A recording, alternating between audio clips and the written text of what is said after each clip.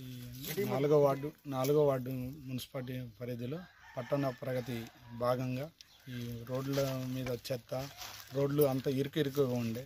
ఇప్పుడు ఈ నా మొన్న ఇరవై నాలుగో తారీఖు కాంచి ఇరవై నాలుగో తారీఖు కాంచి ఇప్పటివరకు రోజు డైలీ ఒక మున్సిపాలిటీ పరిధిలో ఇద్దరు సిబ్బందిని ఇచ్చిండ్రు. పర్సనల్గా మమ్మల్ని నలుగురు పెట్టుకున్నారు. వారితో వర్క్ చేయించుకుంటా మేము కూడా వారితో చేదోడు వాదోడుగా ఉండుకుంటా ఒక లోజరు ఒక జేసీపీ నాలుగు ట్రాక్టర్లతోని ఊరు గల్లి గల్లి వీధి వీధి మొత్తం శుభ్రంగా చేసుకుంటా చెట్లు పుట్టలు అన్నీ ఉన్నాయి. అన్నీ క్లీన్ చేసుకుంటూ వస్తాను.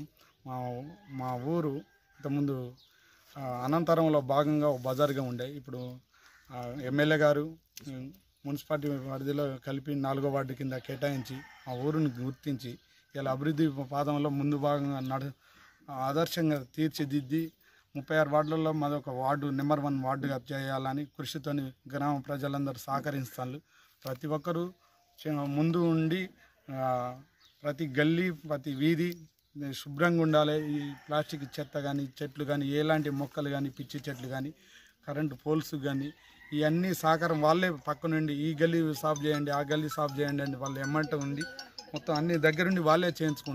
వాళ్ళతో పాటు మేము వాళ్ళ ఎమ్మటి వండుకుంటా సిబ్బంది ఎమ్మటి వండుకుంటా మేము కూడా చేసుకుంటూ వస్తున్నాం ఆశా వర్కర్లు కూడా సహకరిస్తాను ఇప్పుడు మన స్పెషల్ ఆఫీసర్ మేడం గారు కూడా పొద్దున్న లేస్తే వీధి వీధి తిరుగుతాను వాళ్ళు కూడా మా ఎమ్మటి ఉండి చేదోడు వాదోడు కూడా అన్ని వర్కులు చేపిస్తాను ఈ వర్కులు కూడా దగ్గర పడ్డాయి.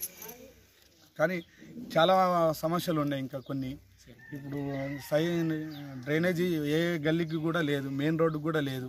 కాకపోతే బజార్లన్నీ ఇరుకిరుగు ఇన్ని రోజులు చెప్పే నాదుడు లేక ఈ జనాలకు కొంతమంది మా జాగ పోతుంది అది పోతుంది మా మీద కొట్లాడకు పంచాయతీ గుడిస్తే వాళ్ళకు నచ్చ చెప్పుకుంటా మర్యాదగా మాట్లాడుకుంటా గౌరవంతో వాళ్ళకు వాళ్ళకు అర్థమయ్యే పరిధిలో చెప్పుకుంటా అన్నీ సాల్వ్ చేసుకుంటా వస్తాను.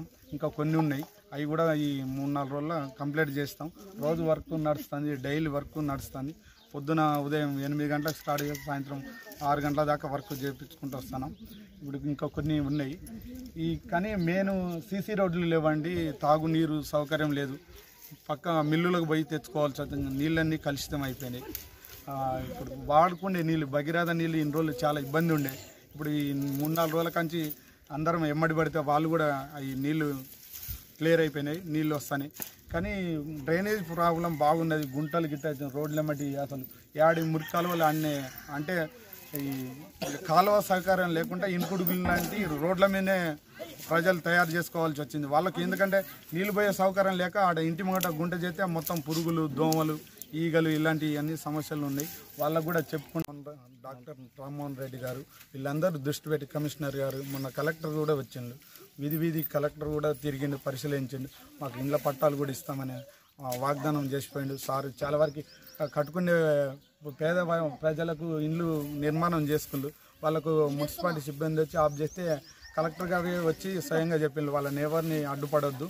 వాళ్ళని ఇల్లు కట్టుకొని అని చెప్పిండు. ఎమ్మెల్యే గారు కూడా మాకు చేదోడు వాదోడుగా అన్ని రకాలుగా ఏది కావాలన్నా మీరు అభివృద్ధి చేసుకోండి. నేను ఏ పని అయినా చేసి పెడతానికి ఎమ్మెల్యే గారు ముందుకు వచ్చిండ్రు మన ఇప్పుడు మా వైస్ చైర్మన్ ఫరీద్ గారు కూడా మాకు ఫుల్ సహకారం. మురళీబాబు పరకాల శ్రీనివాస్ రెడ్డి గారి గిట్ట వీళ్ళందరూ సహాయ సహకారాలతో ఈ పనులన్నీ చేసుకుంటాను. ఈ గ్రామస్తులు కూడా పూర్తిగా సహకరించి వాళ్ళే మీద ఎమ్మటుండి వర్కులు చేయించుకుంటాను అందరికీ పేరు పేరున ధన్యవాదాలు. నాలుగు